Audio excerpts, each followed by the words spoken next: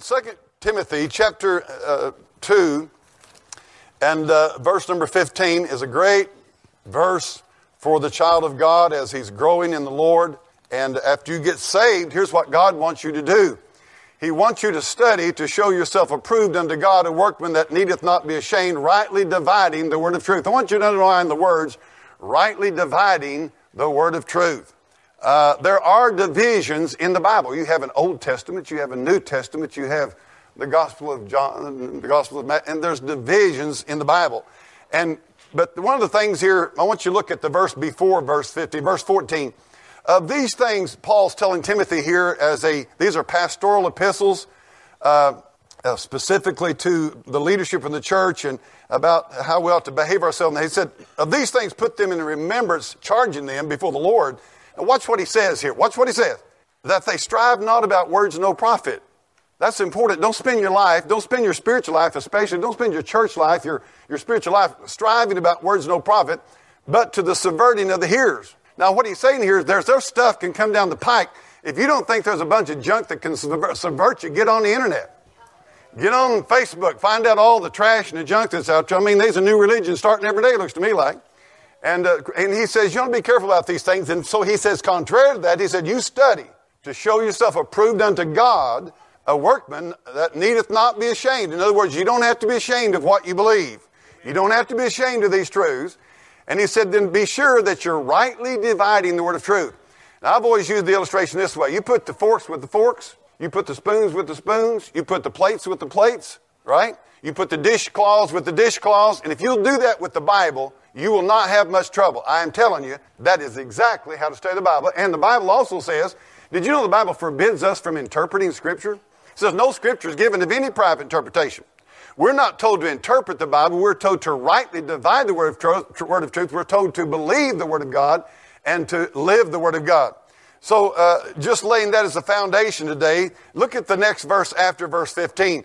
He said, but shun profane, and what that means is outside the scripture or outside the word of God, and vain, worthless, nothingness to them, no good, babblings. There's a lot of that going. You, you ever seen anybody doing this? I've, I did a little clip the other day. I haven't put it on Facebook yet, but it's called Face in the Book. And if people would get their face in the book, be a lot of difference in the lives. But anyway, he said there, he said, uh, he said, but shun profane and vain babblings, for they'll increase into more ungodliness. He said, if you piddle around with a bunch of unbiblical stuff that's not right, and that's contrary to the Word of God, he said it's going to just absolutely manifest itself in more ungodliness. And look at what verse number 17 says. What's this? This isn't an accident. This is the Holy Ghost teaching us.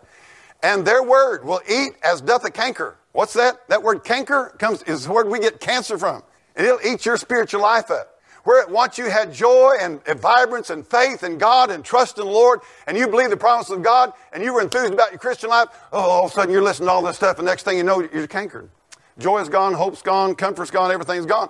And he says it's going to mess you up. Of whom is Hymenaeus and Philetus. What's this? Who concerning the truth have erred saying the resurrections are past already and overthrow the faith of some. Listen, folks, there's been false doctrine running around the world ever since God started. Satan was the first one started kicking out false doctrine. And it's always, these guys were saying the resurrection already passed and they had these people, oh, I had them all worried about because, you know, the resurrection passed, I'm in, I'm in trouble.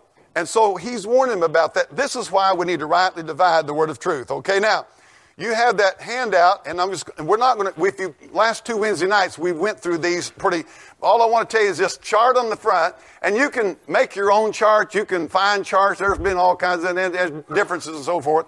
But this is just a very simple, what's called dispensational chart of the history of the world, the history of the world from a biblical perspective, from Genesis to Revelation. That's all it is. No big mystery, no big super theological nothing. It's just simply starting you out at Genesis and it's dividing the spaces in time when God dealt with men in special ways to test them. Okay? Now, don't take, unless you just get bored with my preaching, I don't want you to spend a lot of time reading. You take that home and study about connecting dispensations with biblical chronological history.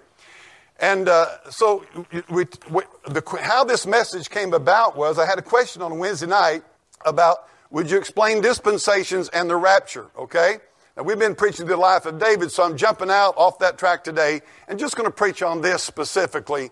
Uh, let me just start off to say today now, I'm going to preach on the rapture of the church, okay, or the coming of Jesus Christ for his bride. The word rapture is not in your Bible, okay?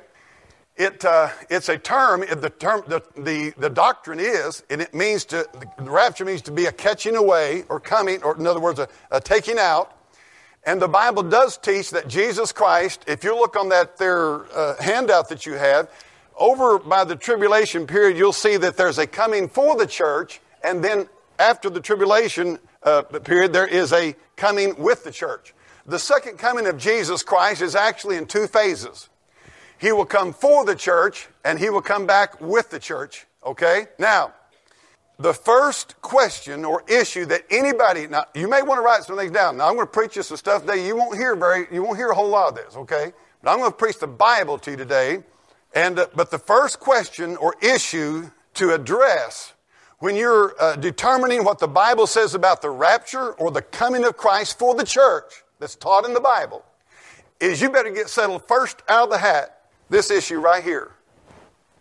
If you get Israel and the church messed up, you will never get prophecy right, and you'll be just exactly what Paul told Timothy would happen. You'll get cankered and messed up and drawn off all into that. You'll be, you'll be over here and messed up. Now, you cannot understand prophecy, which the coming of the Lord for the church involves is prophecy, if you have Israel and the church messed up.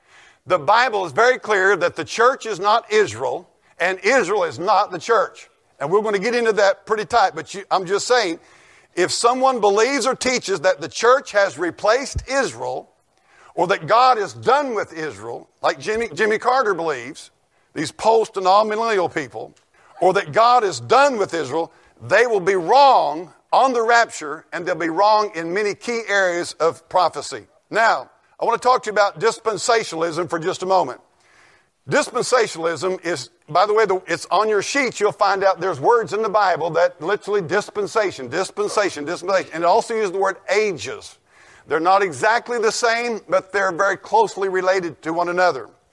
You say, Reggie, what is a dispensation? Dispensationalism is a recognition that of the historical and chronological working of God with man through history. It's what it is. It's, it's, a, it's knowing that there are distinctive time periods in which God dealt with and tested man.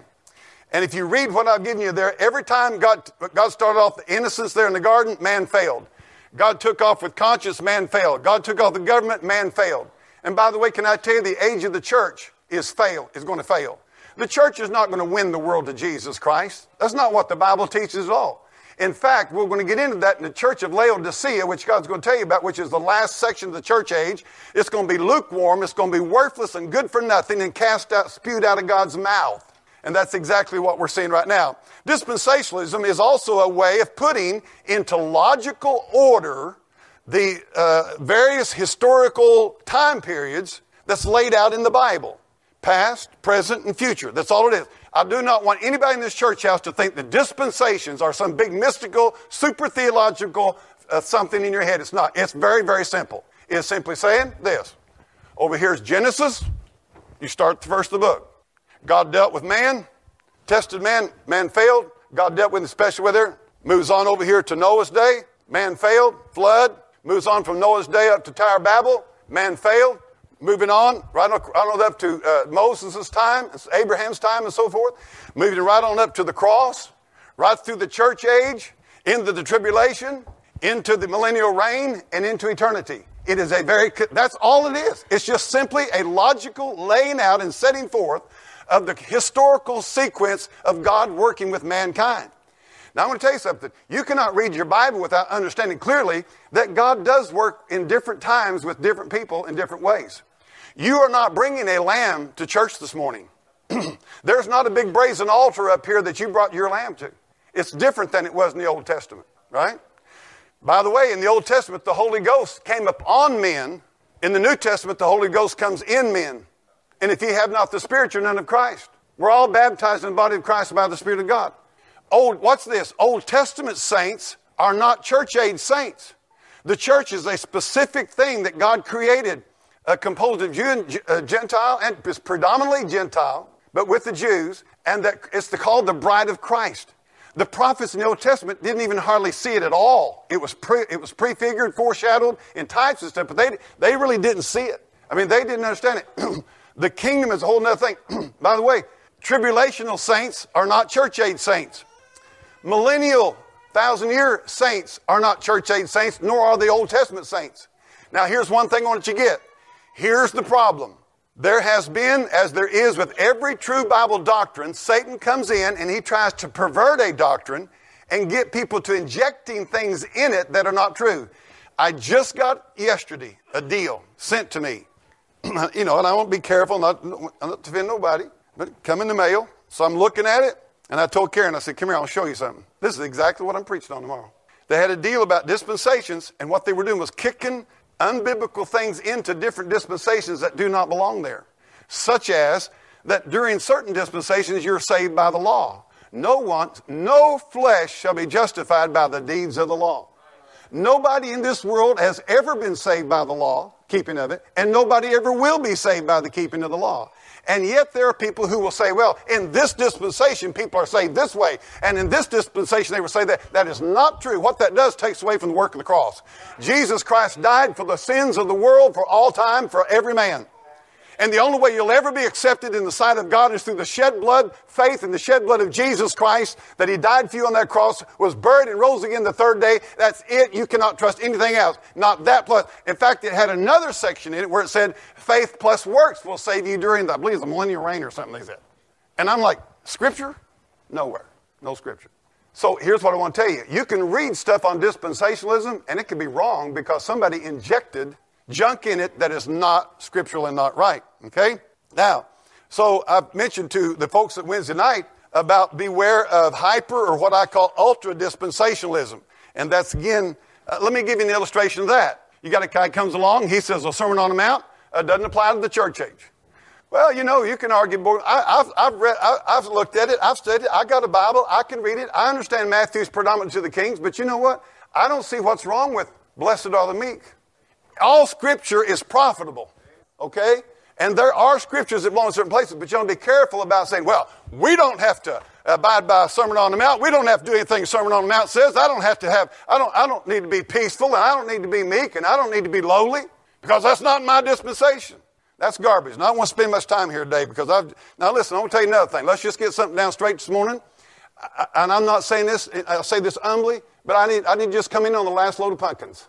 I have heard every, I've heard every piece of junk out here you can hear for 35 years. And what I'm going to preach today, I know. I don't wonder, think, maybe, howdy. I know what I'm preaching. I know why I believe. I know what I believe, and I know why I believe it. So here we go. Now, uh, as I said earlier, uh, dispensationalism is, is, cannot be understood, and the rapture cannot be understood if you do not have a right position about Israel. Now, if you have dispensationalism, quote, over here, Generally, what they call this over here on the opposite of that is covenant theology. I don't like that term because it's deceptive. And I'll tell you why. Covenant theology is just a word and a coinage that they use to coin the fact that they do not go along with dispensationalism. Here's why I don't like it. There are many covenants in the Bible. God had a covenant with Noah. God had a covenant with Moses. God had a covenant with the people of Israel. God had a covenant with David. I mean, there's several covenants in the Bible, okay? And God always keeps his covenants. The New Testament is a new covenant with God. God has a covenant. Your salvation experience is a covenant with God, okay? So you got to be, why do they call it covenant theology? Because they know there's covenants in the Bible and they know that they can fool people with that idea. But here's the problem covenant theology, in 35 years of preaching, teaching, listening, studying, listening to whatever, I'm keeping my ears open, nearly always leads to an anti Israel, anti Jewish position theologically nearly every time. You just keep following it. The guys that are preaching it, the people that are teaching it, it'll always go back. You'll find out eventually. Now, you won't know that till you've been in it a few years because they're going to wait a long time before they tell you. When they say, we are, oh, I'm pro Israel, I'm pro Jewish, what they really mean is those people over there in Israel, not Israel, we're Israel. What they're not telling you is that they believe in 10 lost tribes. Can I tell you something? That is the biggest lie out of hell I ever heard of in my life. There's never been 10 lost tribes. God knows exactly where they're at. In fact, He's going to prove that to you when you get to the book of Revelation because He's going to list 144,000, 12,000 out of each tribe. If you think God doesn't know where the Abraham's seed is, what, what, what makes people think like that? You know what they do? They, they, they, because they hate the Jewish people in the end. That's what covenant theology does. Covenant theology is pushed by Roman Catholics, Mormons, Jehovah Witnesses, and every other cult in the world, and a lot of Protestantism. That's why I'm not, I don't even claim, I don't even claim to be a Protestant. I'm a Bible believer. Okay?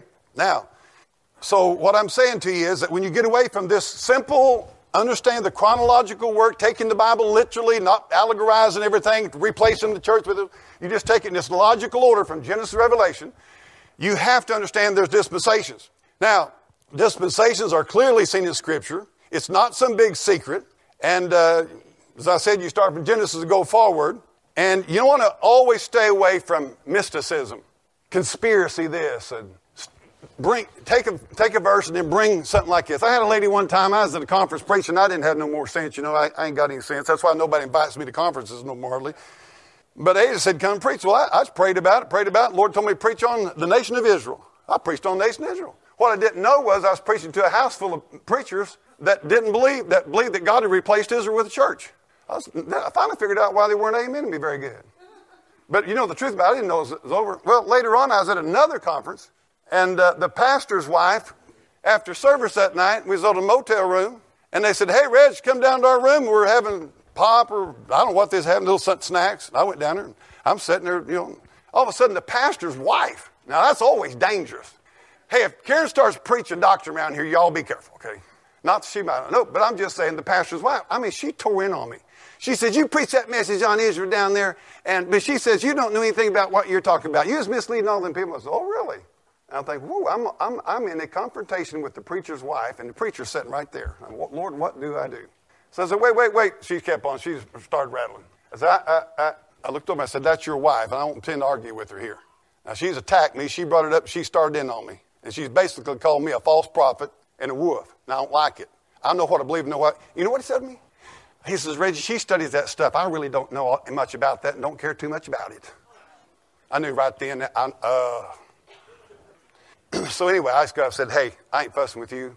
If, you're, if he's not the head of this house, I ain't fussing with you. You know what I got a few weeks later? I got a big box in the mail of DVDs from her preacher, which wasn't her husband, about hating Israel and all, Ralph, it talked about how that the 10 lost tribes worked up into Europe. They jumped over the, the English Channel, got into Europe, and then they all came over here to America. And bless God, we're all, we're, we're the 10 lost tribes. And by the way, do you know what that means, Dennis? That means the Jews over in Israel are not Jews. So now I can hate them like Hitler did. Okay? Now, this is where that stuff comes to. Never come to a conclusion about a doctrine in the New Testament without having really stated out in the Old Testament by prophecy, type, foreshadow, and clear teaching.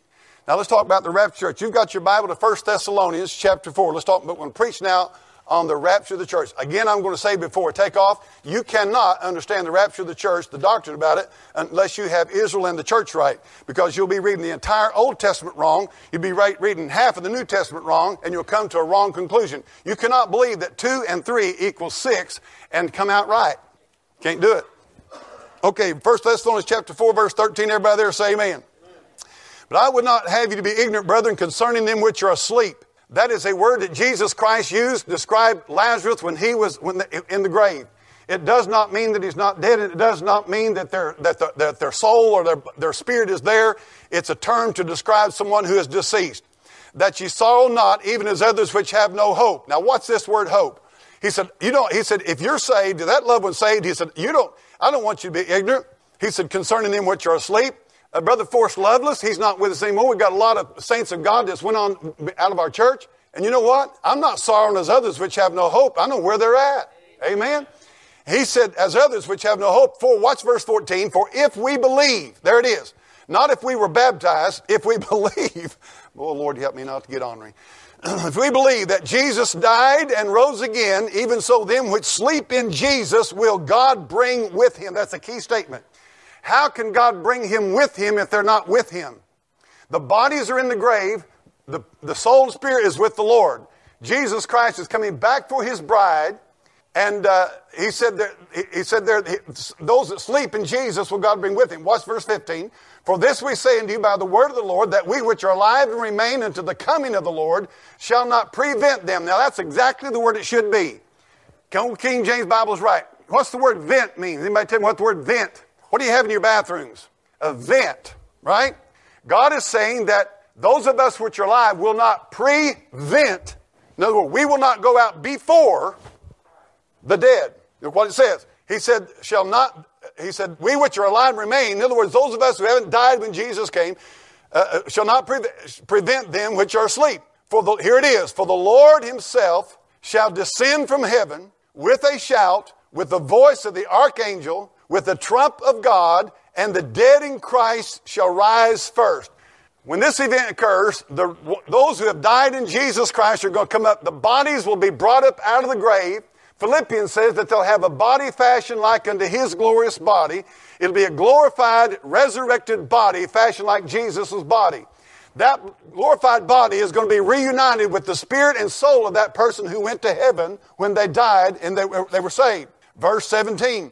Then we, which are alive, let's say that we were here in this church, let's say it happened this morning, which are alive and remain shall be caught up together with him in the clouds to meet the Lord in the air. That's where we meet him.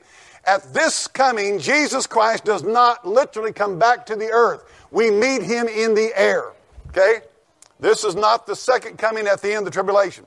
And it says this, and so shall we ever be with the Lord. All right? There's not going to be some kind of going to judgment and find out you wound up you was lost. That's settled here. You're either saved or you're not here. Your sins are judged in Jesus Christ. That's over. You're I'm telling you, if you're sa- it's another evidence that if you're saved, you're saved forever. Now, watch what it said in verse 18. This is very important. Wherefore, comfort one another with these words. Why? Because some of them were teaching that the resurrection was already over. Paul says, I'm going to tell you how it is. And he said, You can comfort. You don't have to be worrying and fretting and oh, stuff about it. Go to 1 Corinthians chapter 15, and then we're going to try to keep moving. Please pray that I can move quickly and stay on target. 1 Corinthians chapter 15, verse number 51. The Bible said, Behold, I show you a mystery. We shall not all sleep. What's that mean? Everybody's not going to die. Physical death, right? He said, But we shall all be changed in a moment. That's fast. In the twinkling of an eye. That's fast. At the last trump. For the trumpet shall sound, and the dead shall be raised incorruptible, and we, those that are still living, shall be changed. And it goes on down through there. I'm, I'm hoping you're familiar with that passage of Scripture, okay? I'm going to throw one thing back at you. Go back to, cha- in that same chapter, go to verse uh, 23. Go to verse 23 in chapter 15. Paul's talking here about the resurrection in this whole chapter. He said in verse 23, but every man in his own what? Order. God is a God of order. God is going to do things in order. He said, Christ the first fruits. He's talking about resurrection here now uh, uh, in a glorified body. Christ was the first fruits of the resurrection. By the way, that word first fruits goes back to your, uh, your Old Testament feast. It goes back to the idea of the crop, the harvest, the early first fruits, the harvest and the gleanings. He said, Christ the first fruits. Afterward, here's the second, they that are Christ at his coming. They that are Christ, not the lost, but they that are Christ. Okay? Then verse 24 says, Then cometh the end. Okay, that's your resurrection of the lost, and that's when Christ is when he shall have delivered up the kingdom to God, even the Father, when he shall have put down all rule and all authority and power. For he must reign till he hath put all enemies under his feet. Millennial reign, okay? So what you have is an order. You have Christ the first fruits, the church, the resurrection of the church, and then the resurrection at the end, great white throne judgment resurrection. Okay. Now, you know there are several other resurrections in the Bible, but those are the main three. Now, what we have, you now take your Bible to Revelation chapter 1. Revelation chapter 1. So, we're talking about the rapture, rapture of the church. The Bible teaches this. The Bible teaches what is called a pre tribulational rapture of the church. What's that mean? That means that before the tribulation period comes, the church is going out. It also teaches a premillennial. That means before the millennial reign, the church is taken out. You have the church taken out, you have the tribulation period, and then you have the millennial reign. All right? That's what the Bible teaches. Now, again, a main point here I want to get across is that in dispensational, dispensations the doctrine of dispensation recognizes a clear distinction between Israel and the church. Let me just show you one little area. Israel is a nation. It is a physical seed.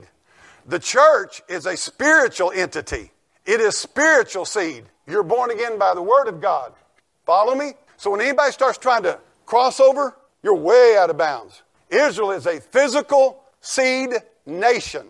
The church is a body of Christ. It is called one time in the Bible a nation. It's called a holy nation in the book of First Peter, okay? but it is a spiritual seed. In Romans chapter 4, when it talks about we being Abraham's seed, he's talking about the spiritual seed from faith. Faith comes by hearing, hearing comes by the word. The word is seed. We are a spiritual body, but Israel is a physical seed through Isaac. Now, the Bible's very, very careful to teach that the seed came through Isaac. In Isaac shall thy seed be called. All right? Now, this stuff's critical because it's affecting your nation. It's affecting your country. It's going to affect your children. It affects a lot going on in your, some of the stuff you're, what in the world's going on? Has to do with this. Now, so here we come. Now, the tribulation, first of all, this. I'm going to ask you a question. If you gave me a book, said, Reggie, I'd like for you to read this book, and I started in the, uh, in the 40th chapter of that book, and I said, man, this thing don't make sense. I said, well, where'd you start? I said, I started in the 40th chapter. Well, what'd you do that for? Well, because I just figured that first 40, 39 chapters had any value to it. You can never understand the tribulation unless you're going to go back in the Old Testament and study it. Tribulation is all in the Old Testament. You have got to go back to the Old Testament. Now, watch this. The Old Testament teaches us, by the way, watch this, from Genesis chapter 12. Now, we're going along in our little dispensational historical trail. In Genesis chapter 12, Abraham is called out of Ur Chaldees, and God starts the nation of Israel with him. From that point, zoom to Jesus' time, it's about Israel. They are in spiritual privilege all the way through. Yes, they're chasing. Yes, they went into captivity. Yes, they had all kinds of problems. But God, God said, if the sun starts doing the stars fall their socket, then I'll be done. God said, I'll never be done with them. He said, I'll chase them. And he promised over and over and over and over and over again through the prophets that he would regather them. So you got, here you got uh, Abraham in chapter 12, all the way through here, you're coming. And you get into Jeremiah chapter 30, and by the way, the tribulation is talked about and taught in most of the prophets and is typified in most of the books. Now, Jeremiah 30, verse 7 tells you something very specifically about the tribulation. It calls it the time of Jacob's trouble. It didn't say it's the time of the church's trouble, it says it's the time of Jacob's trouble. Daniel called it Daniel's 70th week. If you read the context, now I said the other night, and I'm taking some time, I, I want this to be a teaching as well as a preaching message. I said the other night, when I was a boy, I had a Bible. I had a King James Bible. I was sitting in church one time, bored to death. I don't know what the preacher was preaching on because I wasn't interested in preaching. I was living in sin. Who wants to hear a preacher when you're living in sin? So I'm looking at my Bible, and I got to notice, and I was back over in Jeremiah, and I was back over in Isaiah, just piddling around, and I got to noticing something. Jim's real funny. They would put little deals at the top of the chapter saying, the church this, and the church that, and the church this, and the church that. And as a kid, I remember thinking, but that ain't what that chapter's about. It's talking about Israel. How come they put the church this and the church that, all in them Old Testament, above the chapter headings in the Old Testament. I didn't know, no, I didn't ask nobody. It wasn't until probably 30 years later I found out there were a bunch of people who had rejected Israel, was trying to, re- anybody reading their Bible, the first thing we want you to know is that this isn't Israel. It may say Israel, it may talk about Israel, but it's not Israel, it's the church. Replacement theology. Now I want to tell you something. Any man do that, he's pretty dead gum mean. You wouldn't want that done to your words. You wouldn't want that done to your writing. Somebody totally twist what you were saying. Jeremiah calls the time of Jacob's trouble. It's a seven year period. This tribulation period is a seven year period divided into two, three and a half period sections. The last three and a half years is called the Great Tribulation, the time of Jacob's trouble. If you go back to the Old Testament, you'll find out that God talks about the regathering, the restoration, the repentance of Israel. Ezekiel chapter 37, the dry bones, you think that's talking about the church? Not hardly. Yeah, you can apply it to revival meeting. Let's get the dry bones going. No, he said, the whole house, of, by the way, the whole house of Israel. Hmm, Ezekiel, captivity. Where's them 10 lost tribes at? Yeah, where's, the, where's them 10 lost tribes at? This is serious business because we have had presidents that made massive decisions that cost and cursed this country because of what they had been taught. England, what's this? England is going down as a major world power because of their abandonment of the teaching of dispensation and their embracement of the covenant, of, of, of the covenant theology of replacing Israel and their attitude toward them. As I said, covenant theology or any anti dispensational th- teaching almost always leads to an anti Israel position. So here's why I'm against it really bad. When you start embracing that stuff, around the corner, down the trail, they'll finally bring in their teaching about Israel, and they won't say they're anti Israel, they will claim they are Israel and they'll claim to be pro Israel, but they don't mean what you think they mean. Anytime you're into a deal like that, you're into a cult. Anytime somebody's not telling you what they ought to tell you up front, you got a problem. That's deception. That's why I don't like soul winning that, you know, kind of it's like I'm going to slip in on you. Hey, why don't we just tell people? Why don't we tell people when they come to church, we love you, glad you're here, let's have a great time, but if you're lost, you need to be saved, you're going to die and go to hell. We're not going to try to wiggle you in. You need to know the truth. Replacement theology is a false teaching, as I said, that the church has replaced Israel.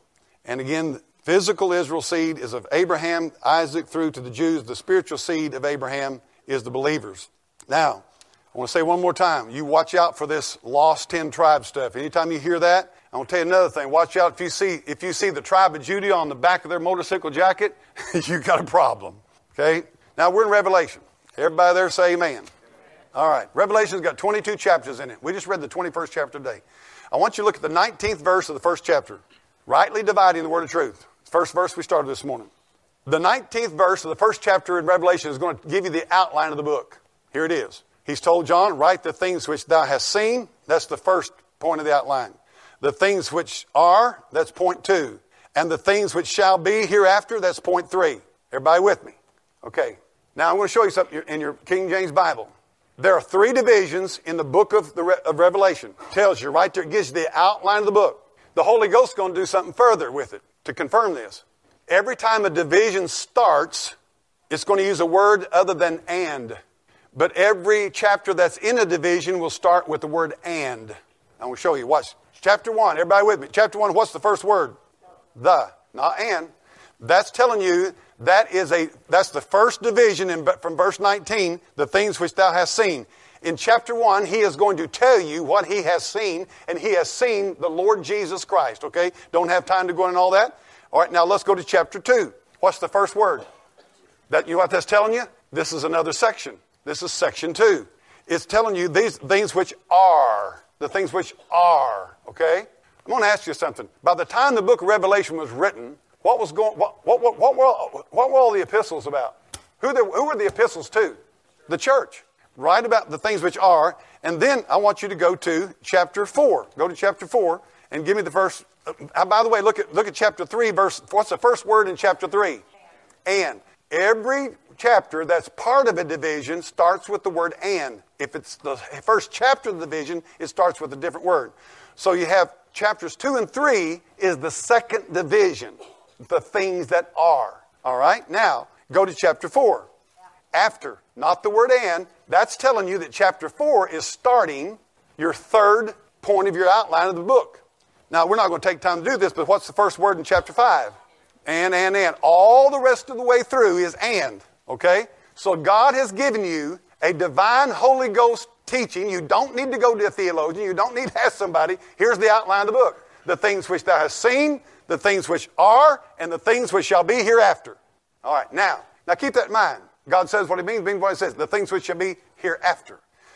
When you, in chapter 2 and 3, is the letters to the churches of Asia. There are seven churches written here, too. Seven's the number of what? completion.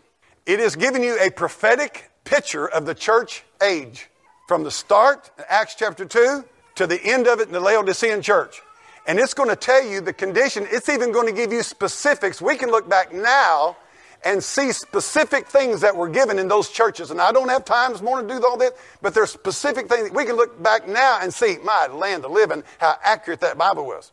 But you know what? If we couldn't see anything in the past, we ought to be able to see that in the last church, Laodicea, that they were lukewarm, they weren't hot or cold. They, they said, We don't need anything, we don't need God, and God spewed them out of his mouth. We, are in the Laodicean church. How many of said, Reggie? I've read that right about Laodicea church. It sure looks like the church age we're living in. It sure does me. So anyway, now, so you got that. Now you got chapter 4 and chapter 5. Now, chapter 4, I want you to look at it. I want you to watch this real carefully. Now, remember what the Bible said rightly dividing the word of truth. Let's look at chapter 4. Now, think about this. Chapters 2 and 3 is the church age. So, and by the way, now I'm going to give you something. This is very key and very important. The word church or churches is never mentioned again till chapter 21, clear after the millennial reign. Now you just now you hang on to this. The Holy Ghost wrote this book. He knows what's happened. He knows the truth. The word church is never mentioned from chapter, the end of chapter two, 3 till one more time in, the, in chapter 21 after the millennial reign. Hmm. Now, I want to tell you something. If God wanted it in there, He could easily put it in there, but He didn't. Okay? Now, let's look at ch- verse number 1, chapter 4. After this, I looked. Who's Jesus coming for? Those who are looking for Him. Hmm. And uh, behold, a door. Who's the door in Bible? Jesus said, I am the door. By me, if any man was opened in heaven, and the first, what's this voice? Where'd you read about that a while ago? In 1 Corinthians chapter 4, a voice of the archangel. You know what this verse is doing? The Holy Ghost is assuming that you have read 1 Thessalonians. He's assuming those Christians understood this language. He said, The first voice which I heard is the word of what? Trumpet, talking with me, which said, What? Come up hither, and I will show thee things which must be hereafter. You know what that verse is? That verse is telling you something. It's telling you that at the end of the church age, Revelation 2 and 3, that the next thing on God's agenda is the come up hither of the church. It's giving you the exact wordage, the exact verbiage. Of, and that's not accidental in the Word of God. God just didn't throw that out there. He's giving you the exact verbiage of 1 Thessalonians chapter 4, verses 13 through 17. So, the, chapter 4, and I, have got to run. I, would love to spend more time, but chapter 4 and chapter 5 is heavenly scene from this point on. It's a heavenly scene. Okay? It's all up in the heavenlies and about the beast and the, uh, uh about the, not the man, beast, the beast and the tribulation, but about the beast around the throne of God and so forth. All right? Now, so chapter 4 and chapter 5 is the heavenly scene. Now, watch this. Chapter 6 is when you see the tribulation period start. Chapter 6 when it starts. He said, I, and I saw when the Lamb opened one of the seals, and I heard as it were the noise of thunder, one of the four beasts saying, Come and see. And I saw a white horse. And from that point, the tribulation period is starting on the earth. And by the way, the first three and a half years are going to be, he's going to come on a white horse with a bow with no arrow. He's going to come as bringing peace to the earth. This whole world is clamoring for peace. And when the Antichrist comes on, he's going to clamor for peace. Now, I'm going to give you something interesting. As I said, number one, this is key. The church is never mentioned for the next 14 chapters. But the tribulation, what, this is cool. The tribulation runs from chapter 6 to chapter 18. Somebody tell me how many chapters that is. How many? 13 chapters. What's number 13? Rebellion. You know what God's getting ready to He's trying to tell you from chapter 6 through chapter 18 is the world's greatest rebellion you've ever seen the Antichrist. Okay? So, uh, you have, you, and when you, get to cha- when you get to the end of chapter 18, in chapter 19, I hope you all know this is when the white horse, the Lord Jesus Christ, comes. He comes back on a white horse. This is his second coming to the earth. That's chapter 19. In chapter 20, you have the millennial reign. Six times the Bible talks about that thousand year reign. By the way, this is why a lot of people don't like that idea of millennial reign because you see, if you believe this Bible chronologically, dispensationally, then you just take it as it flows. I ask a guy, I mean, I've asked guys, had guys jump me about, you believe in that millennial reign stuff, Andy? You know, I said, well, what does, it, what does it mean then? Well, it means a thousand years is one day and one day is a thousand years. So I said, okay, why didn't he say that then? And they just try to they t- take scripture here and scripture there. There's going to be a thousand year reign. So you have Christ coming back in chapter 19, Christ reigning in chapter 20. At the end of chapter 20, the great white throne judgment, the lost are cast into the lake of fire, and you have the millennial reign, and you have the new heaven and new earth. It's just as logical, just as sensible, just as. I, I kind of get worried at these people who's always trying to make a big mystery like, you don't know this unless I told you I had a new revelation from heaven. I don't like that stuff. Do you know what the Bible said? Listen to this. You won't hear 10 preachers out of 2,000 tell you this. You have an anointing and you need not that any man teach you. If you want to bad enough and you'll do what the Bible says, you can learn it yourself. You know what our problem is? We're reading too many books, watching too many DVDs. We're too lazy. We're just too stinking lazy, and there's a propensity in us to want to believe the sensational. The Antichrist was spotted over in Portugal. You know, stuff like that. Chapter 21, chapter 22 is eternity. We read about this morning now. Trying to move quick. Note, if you make the church replace Israel, which it doesn't and is not, then, you, then here's what happens to you. Now listen to me carefully. What happens to you at that point is you have to have the church going into tribulation. You have no choice. And that's not, that doesn't sound good to me. And sure don't sound scriptural. Now, as I said a while ago, I know I'm repeating myself, but I just want to pound it. The church is never one time mentioned in, in the tribulation period, which is Revelation 6 through 18. There's a reason for that. The reason is they're not there. They're gone. The church is gone. By the way, we are going, we're at the marriage supper of the Lamb. We're getting ready to go on a thousand year honeymoon with our Lord. Oh, my goodness. Old Testament, so you know there's a judgment seat of Christ where we will stand before the Lord and give account to our works as Christians. The other night, somebody was talking about the, how many knows about the uh, tokens of virginity in the Old Testament? When the parents brought the cloth out, when the man accused the bride, it's a picture of the judgment seat of Christ. And I'm going to tell you something God's going to lay her right out there in front of the judgment seat. And the truth's going to come out about us. It's, that's way back over in the Old Testament. Okay, now, so the church is gone in heaven with the Lord. Israel takes now what's called, I call, spiritual privilege. The church has spiritual privilege now, church taken out, and Israel becomes again spiritual privilege. By the way, ne- I'm telling you what, I'm just going to tell y'all something. I don't say this because I'm preaching rapture. I think the trumpet, Brother Jim, could sound anytime. Anytime, because there's so many things. I mean, it's we're, the times that will come are here. It's no joking about it. There's so much in my mind I'm wanting. To, but anyway, now I want you to take your Bible real quick to Revelation chapter seven. I want to show you something. Remember, I said that the church is not mentioned in the book of Revelation, chapter 6 through 18, the tribulation period, not one time, not one time, okay? There's a reason for that. Look in chapter 7. After these things I saw four angels. Uh, let's just go on down. Let's do it to verse number 4. And I heard the number of them that were sealed, and there were sealed 140 and 4,000. Most people, the only thing they know about that's that the Jehovah Witnesses, that's Jehovah, Jehovah Witnesses. I got tickled Jehovah Witnesses after they converted 144,000. What happens to the rest of them? Anyway, watch this. Now this is in Revelation 7. In the middle of the tribulation period here, he said he sealed 144,000 of what? Of all two tribes? Three tribes? All the tribes of the children of Israel. How on earth do they get that stuff? I don't know of the tribe of Judah, and it goes all the way down through there. It names every tribe, and it got 12,000. All right, take, go, go to chapter 14. I'm just giving you something here. Who did Jeremiah say that the tribulation period was about? The time of Jacob's trouble. And it, God specifically tells you about Israel. Chapter 14, look how it says. And I looked, and behold, a lamb stood in the Mount Zion, and with him 144,000, having his father's name written in their foreheads. By the way, I want to preach a message on this because nobody preaches on this. Everybody's worried about the mark on your forehead, about the mark of the beast. What about the mark of the forehead of the 144,000? What's that mark? We might ought to, we might ought to figure about that so we don't, so people don't get fooled. But I mean, I'm not planning on being here anyway, but I mean, it's interesting. All right, now, so, uh, anyway, you have this 144,000 mentioned. You say, Reggie, what are you bringing this out for? I'm trying to tell you that in the tribulation period, Israel is the prominent uh, entity that God is dealing with, not the church. The Bible said in Thessalonians that the church is not appointed to wrath. Now, here's something interesting. Your Jehovah Witnesses, your Mormons, your Roman Catholics, your cults, all try to replace Israel, so that makes them go into tribulation. And those smart heads up there at the top, they're smart enough to know that to keep their little deal rolling, they got to deal with this situation about Israel being in the tribulation period. So that's why they've got to replace it. They have no choice. Can I tell you something? They have no choice. Because if they don't make the church replace Israel, what in the world are they going to say about those 144,000 from every tribe? Now, so I just say this to us. Why don't we just take Scripture as its plain order and its sense? And why does somebody want to put the church in section of Scripture that the Holy Ghost did not do it? And so the major confusion comes by replacing, that's why I said to start with, the major confusion comes by replacing Israel with the church and your comprehension of that will be totally messed up if you do that. And by the way, not just that, but you will miss a great joy of the Lord in the in the uh, uh, of the truth of God's word and prophecy. Now we're going to talk about this doctrine rapture a little bit, let you out just a little bit. We've seen it in the New Testament clearly. Let's go back and review. We saw it in 1 Thessalonians chapter 4. We saw it in 1 Corinthians chapter 15. It is in 1 and 2 Thessalonians.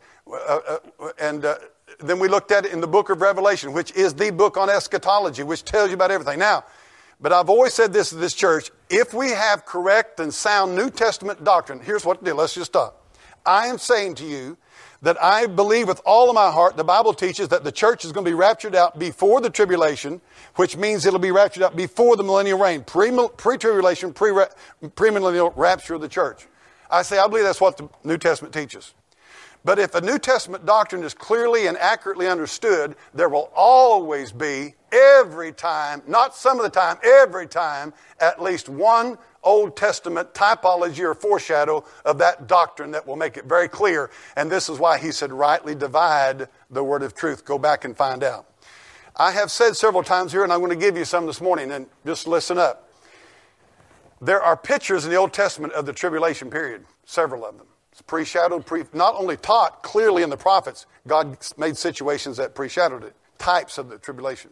The flood in Noah's day is a picture, is one of the Old Testament pictures of the tribulation, uh, uh, tribulation period. The Bible tells us in Genesis chapter 5, verse 21, that Enoch walked with God and was not, for God took him. Then you find out that just in a few verses, you're in chapter 6, and the flood situation starts. Did you catch that? Hebrews 11 4 tells us that Enoch was translated that he should not see death. Okay? So, here, what you got in the Old Testament. We have a New Testament clear teaching of the church going out before the tribulation, before the millennial reign. What we go back in the Old Testament find? Enoch walked with God. He was walking one day with God, and God took him out, translated him. What happens after that? The flood, a picture of the tribulation period. Noah, now watch this. Types in the Old Testament sometimes have two, two, two layers of types, sometimes three. Noah is a picture in that typology of the Jewish people being taken through the tribulation, coming out on the other side on top of Mount Ararat, the kingdom, and ruling over the world. That's what the Bible says happened. Mm. Okay? So you have that Old Testament typology. Let's, think, let's look at another one. Now, by the way, I said double types. The, the, the ark can be a type. Noah can be a type of you and I as believers in the ark, sealed unto the day of redemption. Three stories Jesus Christ, the fullness of the Godhead bodily. Raven and the dove, your old nature and your new nature. I mean, it's all in there. Okay? Now, you can say, well, now watch this. Somebody, I hear somebody say, ah, well, that means that we could be going through the tribulation. Okay? If, if, if you want to believe that, okay. I'm not mad at you. You're fine. But let me tell you something. No, where was Noah? He was in the ark. He wasn't hanging on out there and waves splashing and sticks hitting him, logs hitting him, going, I'm going through the tribulation. Don't work. It does not fit. Okay? I'm going to give you another one I've given here at church. In the Old Testament, now there's something that happened. Watch this.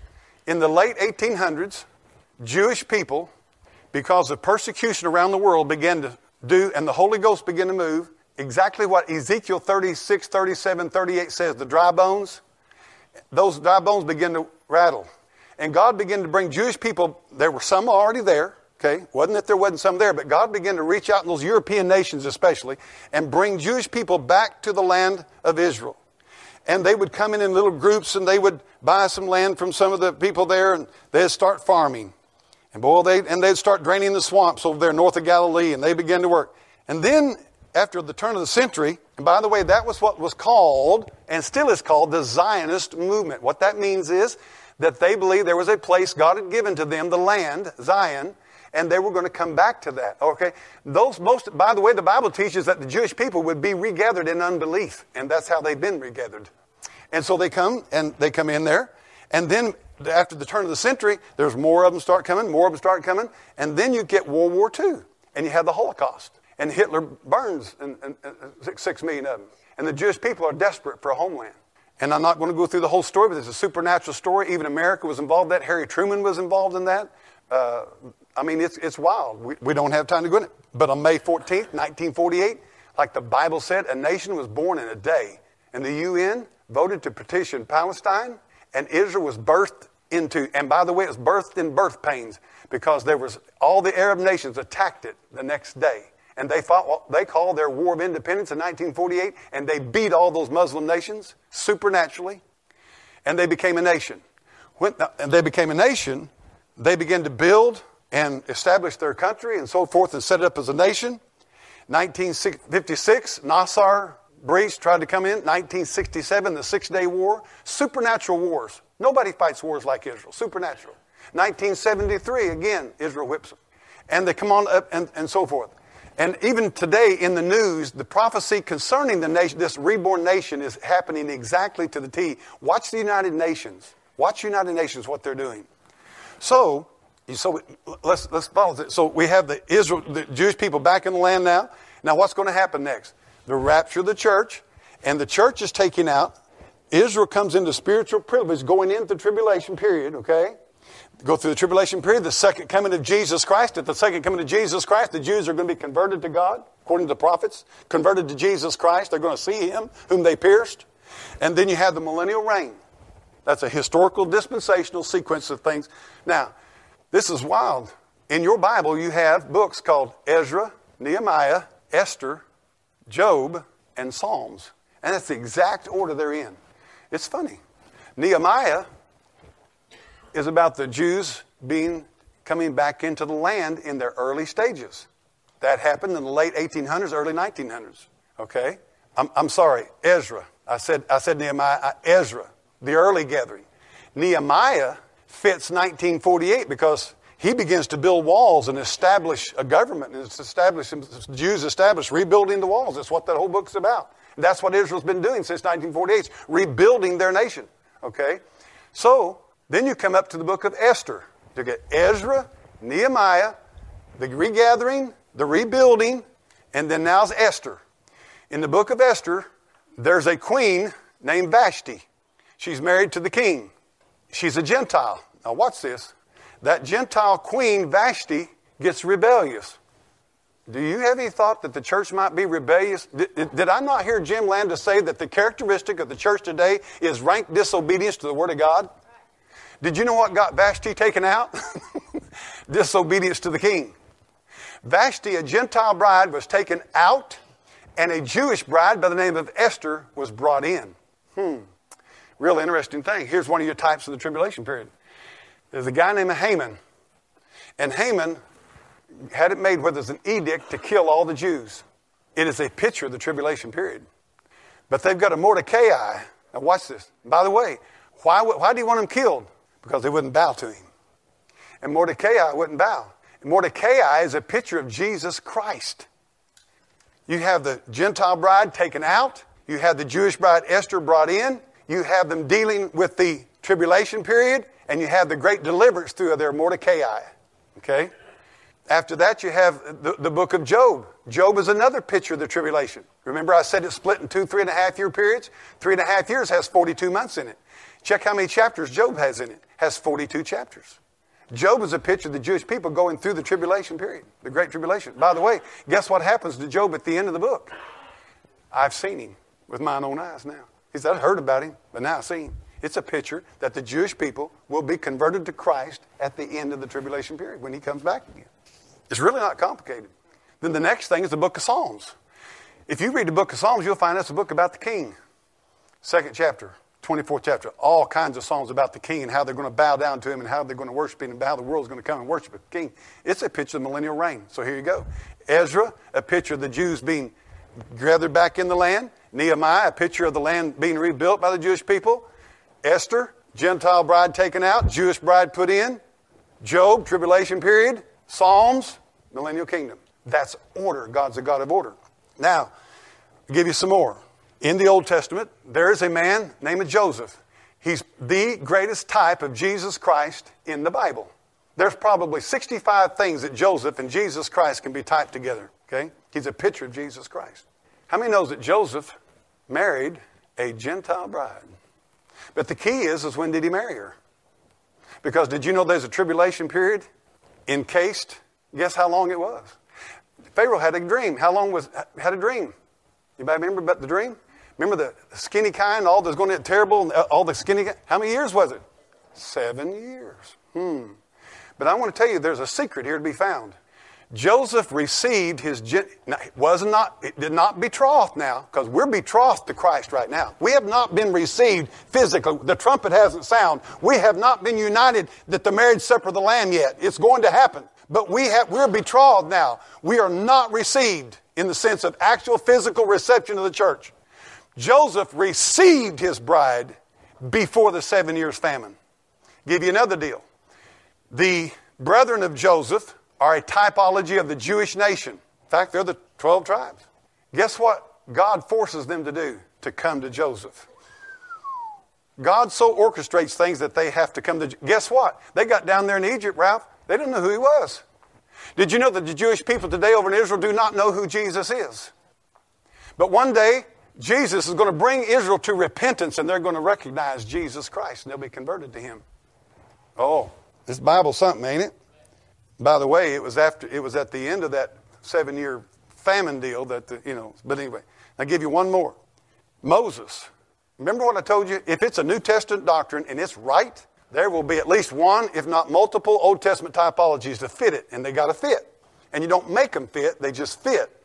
Moses is another big type of Jesus Christ in the Old Testament. All kinds. He was a prophet, priest. I mean, he's prophet, priest, and king. All kinds of things. Tremendous study.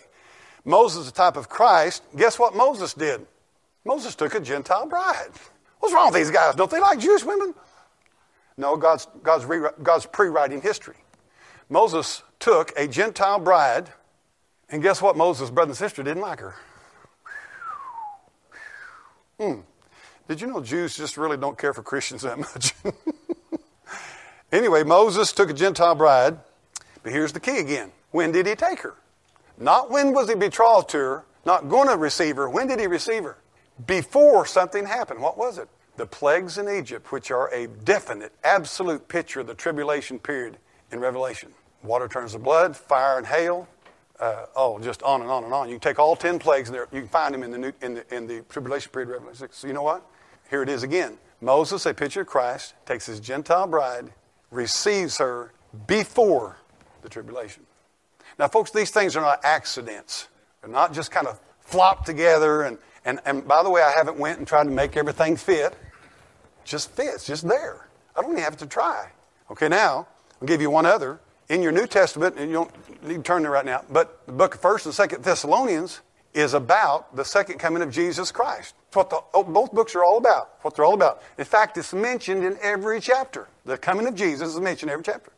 And the book of First Thessalonians is where you're going to read about. Watch this. Those two. Why, why is there two books? Why is there First and Second Thessalonians? Because there's two phases to Christ's coming. One is his coming for the church. The other is coming with the church back to the earth. First Thessalonians is about his coming for the church. That's where you read chapter four. Second Thessalonians is where you read about the Antichrist. It's in exact logical sequential order. Has I bored everybody to death so far? Okay. Um, I'm trying, I'm trying. Let me just say this to you. Um, nobody knows exactly every little detail of prophecy. Nobody. Somebody tells me they do, I know immediately get away from them, they're lying. There's things God has hid. But there is a fundamental, clear, basic prophetic structure and framework given in the Bible upon which we can know and build doctrine. And I'm just not going to fall for this teaching that goes against the clear teaching of God's Word. As I've told you earlier, I have watched this situation for 35 years, and it always comes out at the end. When I follow the trail, it always comes out anti Israel, replacement of Israel with the church. And here's what I see happens. Instead of comfort one another with these words, it worries people. Oh, my land, I'm going in tribulation, and what about my, you know, and, uh, and just on, and it just no ending of question. Instead of comfort and peace and the joy and the, I'm looking for the blessed hope, not the Antichrist. I'm looking for Christ, not the Antichrist. And I'm part of the bride of Christ. I'm part of the church. So I just, and I'm, I'm going to say something. This is going to sound a little bit presumptuous. I'm just as knowledgeable as the rest of these yo yos. Further than that, you people know me. Most people you're listening to, you don't know. Most people you're reading after you don't really know. I can read, you can read, I can study, you can study. We can both right divide. And by the way, I got one other thing to give you. I'm not selling books. I'm not selling DVDs. I'm not. I have no motive. I, am going to give account to God for what I preached this morning. I want to be right. If I'm, if I'm wrong, I want to be wrong. Like Paul said, I did in ignorance. And, and if I am, I, I just, listen, I, I, just want you people to, I, this question was asked. Now, here's where a rejection of this clear Bible teaching will take you. You reject the literal Bible teaching, this your logical, sequential, dispensational order. Next thing that happens is you, that causes you to reject God's covenant promises with Israel, such as the regathering, the repentance, and the rebirth, and all that. That leads to a church to false reasoning that if the church has replaced the Jews, then Israel as a nation over yonder is not true. And that's why there's so much anti Semitism in this country. And that means that if they're not the true Jews, they have no right to that land. It belongs to the Palestinians. So we're going to have to favor the Muslims. Do you see where we went to in this country? Did, isn't, it, isn't it ironic? Let me tell you something where, where the liberal, progressive mindset came from in this country. Guess where it came from? It, exactly. It came out of liberal churches who taught this garbage. That's why in your colleges now, there's such hatred toward Israel. Because their pastors taught them that Israel has no right to that land because we're covenant theologian people and we know that God's done with Israel and we've replaced Israel. And so those people are over there without any reason, and we need to stand against them. So then, here's what happens. You have a Jimmy Carter who comes along. I want to ask you a question. How many knows what it was like under Jimmy Carter's presidency? Raise your hand. Those are some of the awfulest days in my life. Awfulest days in my life. I'll give you a story. We had uh, those uh, people taking, uh, what do you call it? The terrorists took the Iranian hostages, 100, what was it, 150 or 60 American hostages, and held them for what, three years? I don't know how long. We couldn't get them out interest rates went to 20%. You listen to me now. I mean, everything blew apart. The whole country was in a stinking mess. Everybody in the country felt like we were a weak possum nation, couldn't do nothing, couldn't even get our own hostages out. The world was laughing at us. And guess who's our president? Is Jimmy Carter. And guess what he believes? To this day, he still fights for Palestinians that they own the land, and he thinks the Jews ought to get out of there. And he's a Southern Baptist. Which, and by the way, they have the big division in the Southern Baptist organization because a lot of Southern Baptists, some of them are premillennial, pre-rapture, but many of them are covenant theologians and believe that Israel doesn't have any right to exist. So you get a what's this? You get a president who believes doesn't believe in this dispensational truth. So he sends an ambassador to the UN.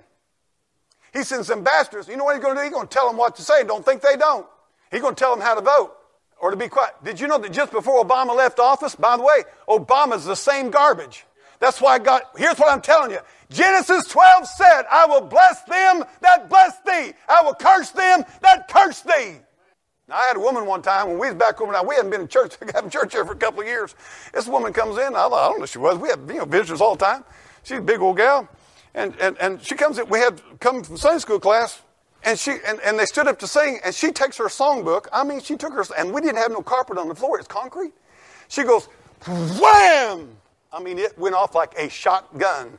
Boom! I mean, everybody in church just, boom, I land somebody shot. And she starts cussing like a sailor. I mean, I'm talking about vile cussing. And it's all about because I preached in favor of Israel. And about four men just kind of got a hold of her and said, Ma'am, you're leaving. You're out of here. And she's cats cussing and raving and going, and they escorted her out of the door, her cussing. And I just told her, I said, Ma'am, God says that He will curse those that curse Israel, and He'll bless them. You, you are not welcome to come to church. I'm sorry. You've made, unless you repent and change your ways. I'm not trying to be mean. We want you to be right. But you started this. And you ain't coming in this church and taking over. Okay? And we don't hate you or nothing like that, but we just told her how it was. Of course, she never did come back.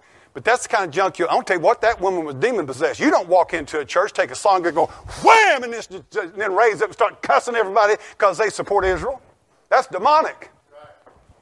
Right. Amen, Reggie. Amen. so now I'm going to give you, uh, but anyway, that, that's where you come to. Revelation 2, verse 9 has something. Here's what it says. It says, I want just take your Bible, and I promise, mercy, let's like good old days. We're getting out at 1230. I'm not trying, okay? I'm sorry. I, no, I'm not sorry either. Revelation 2, verse 9. This is important. You know what? I'll show you how important this is. There was a mother one day. There's a mother one day. She had a little boy. It was her practice to read the Bible to her little boy every day. And she looked at her little boy. His name was Dick. And she said, Dick, I want to tell you something, son. She said, It may be in your lifetime that you would have a chance to help the nation of Israel. If you ever get that chance, son, I want you to help them. Dick grew up. A lot of people don't like him. His name is Richard Nixon. And Golda Meir, who is the, was the uh, Prime Minister, thank you, Brother Ralph, I need that mental help. Prime Minister of Israel had called him on the phone about 3 o'clock in the morning and says, Mr. Nixon, Mr. President, if we don't get help from America, we've got too many Muslims, they're going to whip us. We've got to have help. Nixon calls his council, and all of them said, "No, don't do it. Don't intervene. It'll make oil prices go up, and it'll hurt your presidency, and blah blah blah blah blah." Richard Nixon said, "This is his own testimony." He said, "I was sitting on the side of my bed in the White House, three o'clock in the morning. Golda Meir's talking to me, and I can hear my mother say, Dickie, if you ever grow up and get a chance to help Israel, be sure and do it. God will bless you for it." You say, "Well, he got put out of office." Yeah, you know who he got put out of office by a bunch of unbelievers and haters. You know what Richard Nixon did that day? Against the, against the will of his own cabinet, he said, I want every C 47 transport plane and everything we've got. And this was the 1973 war. He said, I want everything loaded that we've got. You give them everything we've got. And America turned the war in 1973 around and, we, and whooped the Muslims because of a president who had a mama. I could tell you story after story, miracle stories. Miracles are going on today, but by, by the way, this is what's neat. The church, by the way, folks, was never meant to see a bunch of miracles. It was Israel who lived by the signs. Oh my. Uh, Revelation 2 9. One last verse and we're out of here. Don, don't believe me. He's talking to the church now, right? Talking to the church. He's talking to the church actually of Smyrna. He said, I know thy works in tribulation and poverty, but thou art rich. And I know the blasphemy of them which say they are Jews and are not, but are of the synagogue of Satan. You better stay away from this Gentile crowd that claims they're Jews because God tells you they're the synagogue of Satan. Let's stand and go home. Mercy, mercy, mercy. I want to tell you something. If you're not saved, that's what you don't be concerned about rapture. You know why I don't preach on it a whole lot? What does it matter if you're not saved? Somebody says, Oh, I'd go into tribulation. No, you're going to hell. That's worse than the tribulation. I mean, to me, you know, it's just a priority deal. Just get saved. Don't, don't, don't if your motivation so you don't go into tribulation, it's not a right motivation. Amen. Anyway, if you're here and you're not saved, get saved. I'm telling you right now. I wish the Lord come before we come back this evening. I really, honestly do. I really do. Lord, we thank you for this day. I pray, Lord, that you'd help folks, Lord, and give them comfort, give them joy, give them gladness, Lord, in knowing your word. I pray, Heavenly Father, that you'd help them, Lord, to stand against the wiles of the devil. And Lord, right now, I just want to reaffirm to you, Lord, that we stand beside your people. Lord, we know that they've sinned against you. Lord, they rejected you. But Lord, you said in Romans, Lord, that they were cut off that we might be grafted in. And so, Lord, we thank you for our Jewish Bible. We thank you for a Jewish Savior. We thank you, Heavenly Father, that the truth of your word stands in spite of all that hell throws at it. And Lord, I pray today that you'll help these folks. I pray, Lord, if there's anybody in this building that's not saved, God, that they will come to you in repentance of sin, faith in the shed blood of Jesus Christ, trust in Him alone. God, help them to do that. Lord, give us a great day. I pray, Lord, bring us back tonight. And, and God, may we fellowship and worship you in spirit and in truth. And Lord, I pray that if I've said anything that's contrary to your word or your will, that you'd strike it from the minds of these people. Help us, Lord, to know the truth and to act upon it. In Jesus' name, amen. Tonight.